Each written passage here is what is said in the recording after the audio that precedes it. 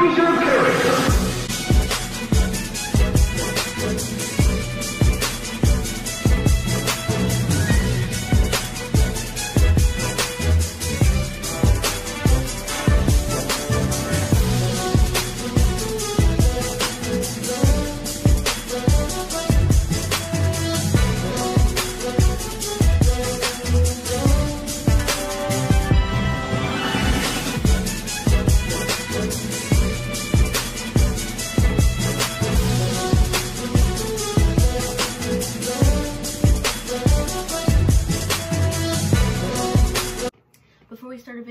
Video, we're going to do a quick land acknowledgement in honor of the people who lived here in Canada and in Peterborough before us and still live here to this day before we can start our video. So that's going to be first.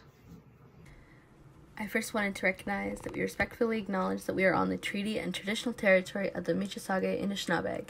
We offer our gratitude to the First Peoples for their care and teachings about our earth. May we honor these teachings. Hi kids and welcome back to video 2 of our Eco Adventure summer camp.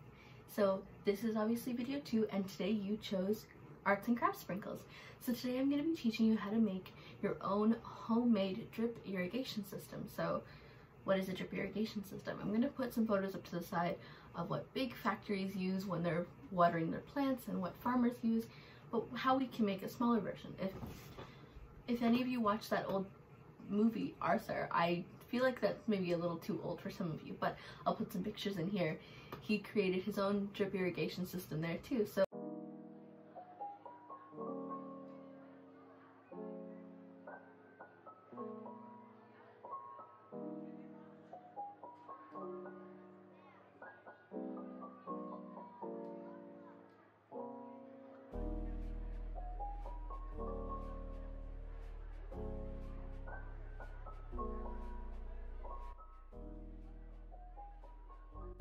In honor of Eco Adventure Week and talking about plants and earth, we're going to be growing our own plants today. So I'll put a list of all the things you're going to need off to the side and we can get started. Hi kids and welcome to the first craft corner with sprinkles. So before we start I'm going to show you my basic crafting toolkit. This is just generic stuff that you should have with you or just can have on hand because I won't put them in the supply list but they're just things that I use pretty much every single time for crafts. So the first thing in my bin is some scissors, some clear sticky tape. I also have some clear glue, but regular glue works too, and a glue stick. And then I have a ruler, some paintbrushes, quite a few paintbrushes. I have an X-Acto knife, but if you're gonna have one, you ask an adult for help. Some markers, a pencil, and a pen. So now on to our craft. The key components of this include tape, cardboard, large popsicle sticks, and some other stuff that I'll talk about later. The first cardboard cutout you're going to need is a round cardboard cutout larger than the size of your cup, so mine was roughly 6 inches in diameter. Next, you're going to need two big pieces of cardboard, two long pieces about 1 inch by 11 inches, and this is just to act as additional support for your stand. Then you're going to need some large popsicle sticks. You can use large popsicle sticks, you can use sticks, you can use more cardboard, whatever works, but you're just going to use them as legs. So you're going to see here me putting them through the round cardboard base, adjusting so that it's level, and then placing the cup on top. Basically what you want to do is you want to elevate your cup off of the table or whatever base you're going to be working on so that the water will naturally flow down with gravity. You just want your cup elevated off of the table so that the water will flow through the tube down using gravity. You can you, you can do this by creating a little stand like I did or you can elevate your cup on a couple books or another box. I'm just creating a little stand so that I can move my craft wherever I'd like. Once this is there, you're going to take one of those long pieces of cardboard and you're going to tape it to the two feet across from each other.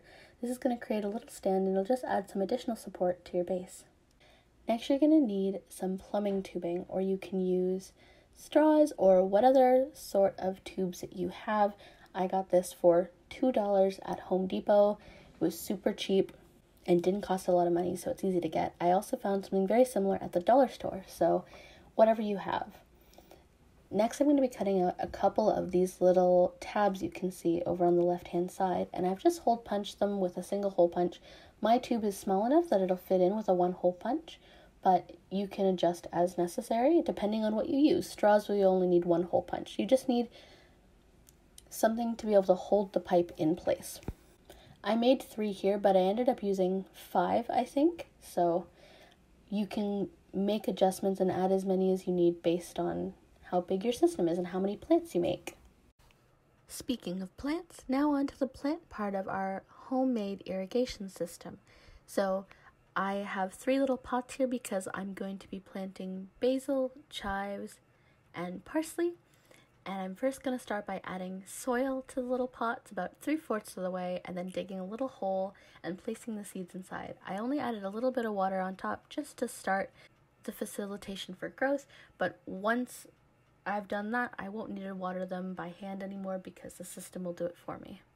I also at this point adjusted and put some recycled containers underneath so that it wouldn't leak onto the table. This is essential. My pots have holes in the bottoms and it's also good for draining out excess water so that your plants don't flood.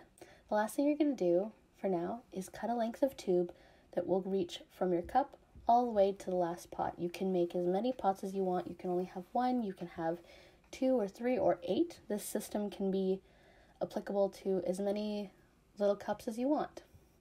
You just need to have longer tubing and a bigger cup of water. As you can see, I'm stringing on the little tabs and these are going to attach to the pots to help hold the tubing in place. I'm also attaching a larger tab underneath the cup to hold the straw in the cup so that it won't come flinging out because obviously this tube was still kind of curled up so it had a tendency to move by itself. This does take a little bit of adjusting and finagling, but once you have a system that you think works for you, you can tape the little tabs to your little pots to hold the tubing in place. What you are looking for is to have the tube cut just across the center of your pot. This is where the water is going to drip down into your seed, so you want it to be right above it and not along the side so that it doesn't leak down the side and completely miss your seeds. This did take a little bit of fidgeting and moving around, but finally I got it. Now to seal off the ends, this is kind of the tricky part, so I would ask an adult for help with this. So first I took a little push pin that I had in my house and I pushed a bunch of holes along the top of the tube on top of each of the pots. I ended up adding more later because it needed more and you can continue to adjust and add more holes as you see necessary. To seal off the tube, what you want to do, if you have an extra syringe around, you can use it to suck the water down the end of the tube. I just sucked it in as if it was a straw and that worked just as fine. Make sure if you're to be putting your mouth on anything that it's a clean tube. This was brand new and I sterilized it, so it was completely good to use. to seal it, this is I ran into a couple problems sealing it, but the method that worked best for me was using hot glue. Once the water traveled through edge of the cup and was coming down the other side. I'll point to it on the screen so you can see. Once it hit there, the water would naturally flow by itself. So I just sealed the end with a hot glue gun. Water might leak out as you're trying to do that. That's okay. It's not going to do any damage. Just make sure you have some paper towel handy to clean it up.